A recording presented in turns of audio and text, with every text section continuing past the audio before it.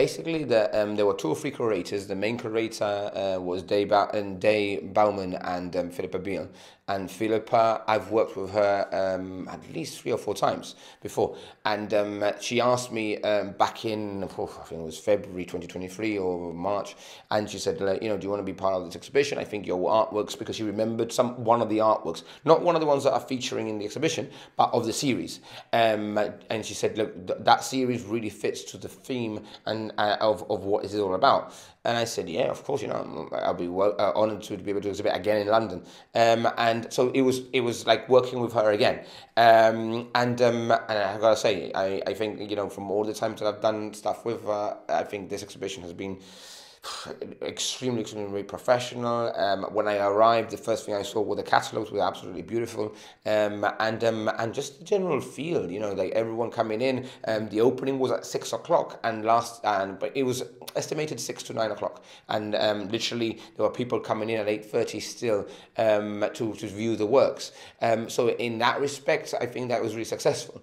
Um, a lot of people commenting on the work. Um, I mean, I, I caught a few people, you know, taking photographs and and and uh, and videoing. And they asked, you know, who, who's this artist? And, and and because there was one individual in specific that basically recognized from the the circle painting, the one done on the the road sign.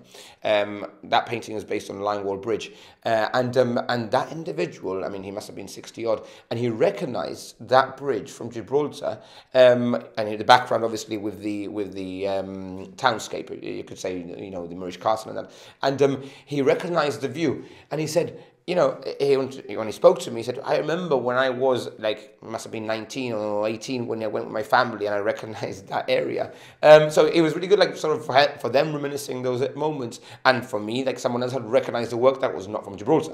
Um, so it was a good opportunity to promote Gibraltar in that way visually as well, no?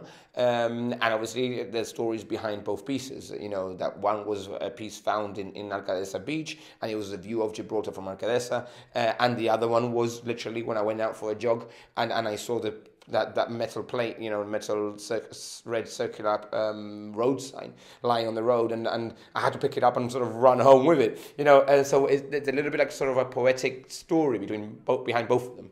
And it's got to be quite heartening and exciting and encouraging and inspirational to have local talent like yourself exhibiting in London. It doesn't happen to everyone, does it? Uh, thank you very much, Michael. Um, no, I'm, you know, I'm, I'm extremely, extremely proud. Um, not only obviously for having chatting and talking to these um, art lovers, collectors, and and and fellow artists. Um, some of them I had connected with um, online without knowing that they were going to exhibit here. Um, either they followed me or I followed them on social media. So it was really good to meet them in person.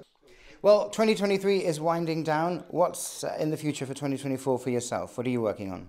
Well, um, I'm doing a new series, which at the moment um, is going to be exhibited in uh, October 2024.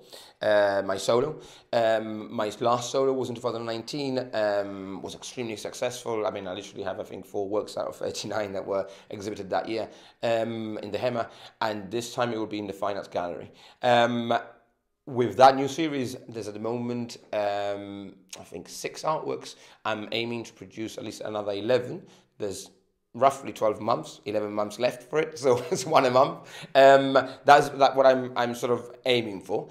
But at the same time, apart from my solo in October, there are another two big projects, which obviously I keep up under wraps at the moment, but um, in the early part of 2024. So um, so yeah, there's exciting, times, and I think it's a case of just keeping busy and, and, and keep the keep riding the wave. You know, when one thing happens, you know, onto the next one, the next one, and and especially like exhibiting abroad um, or exhibiting in in other galleries, etc. Is meeting people, talking to people, and and that's the only way you're going to get invited and going to be seen as well, you know.